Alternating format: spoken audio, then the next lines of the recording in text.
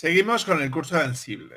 Esta vez ya hemos realizado el proceso de creación de un contenedor LXT, hemos instalado Docker dentro de la máquina, ¿no? Dentro, de la máquina con Ansible y ahora lo que tenemos que empezar a hacer son despliegues.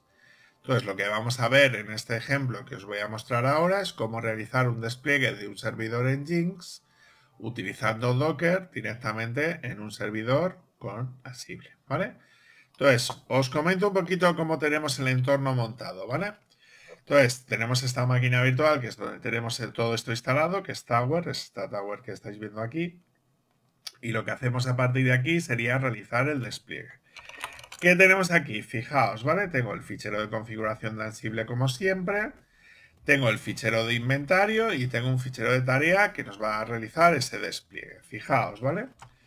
Si yo hago cat en el Ansible CCG, fijaos que tira por defecto del inventory DNS, ¿vale? Si hago el cat del inventory DNS, veis que tiro aquí que Docker, el grupo Docker corresponde al equipo U3, que es el que nosotros hemos configurado. Está perfecto, ¿vale? ¿Qué necesitamos hacer ahora? Pues vamos a hacerle un cat directamente eh, dentro de las tareas al docker deploy.yml, ¿vale?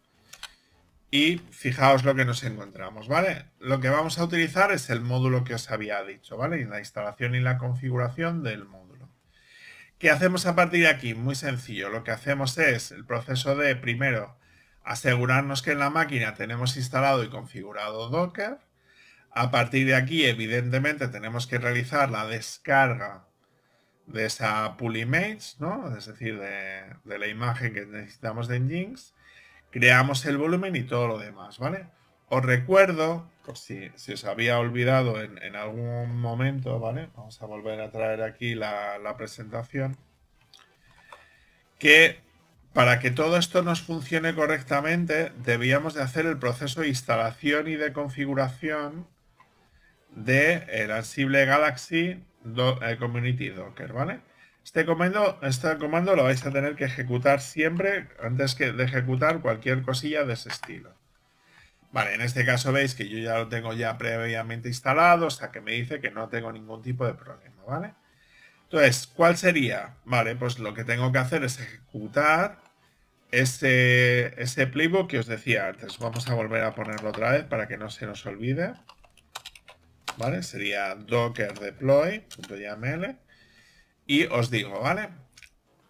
Aquí realizaremos el proceso de instalación de pip docker, ¿vale? Entonces, entre el módulo de docker de pip y el Ansible Galaxy tenemos todo lo necesario para realizar todas las tareas que necesitamos. El siguiente punto a partir de aquí sería realizar el proceso de descarga de la imagen de Nginx, última versión que tenemos configurada aquí. El siguiente paso sería crear un volumen, para que veáis que también podemos crear volúmenes.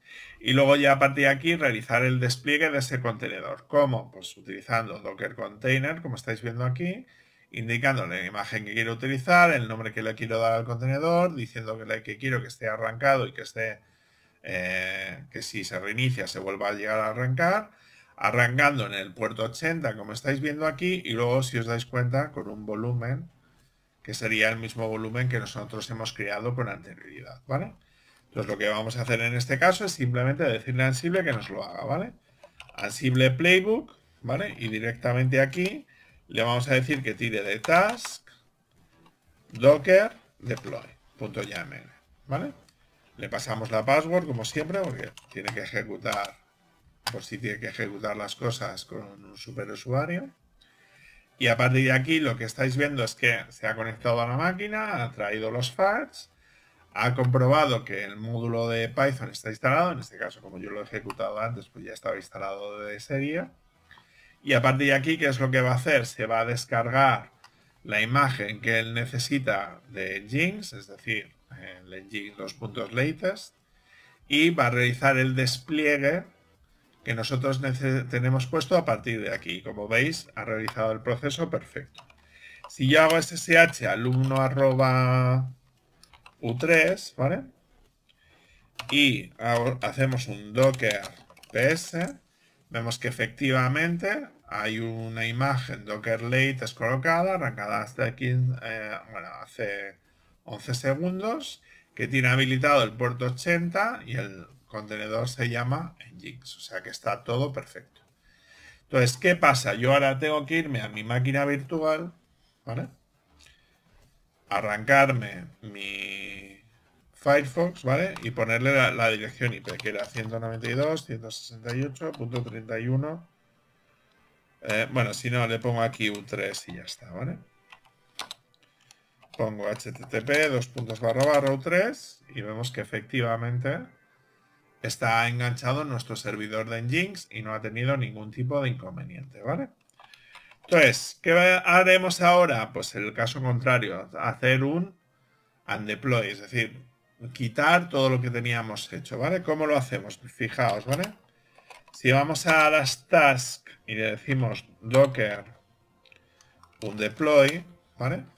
Fijaos cómo lo tengo hecho. Tengo, bueno, en este caso sigue comprobando que tengo el Docker, porque si no, no es capaz de hacer estas opciones, ¿vale?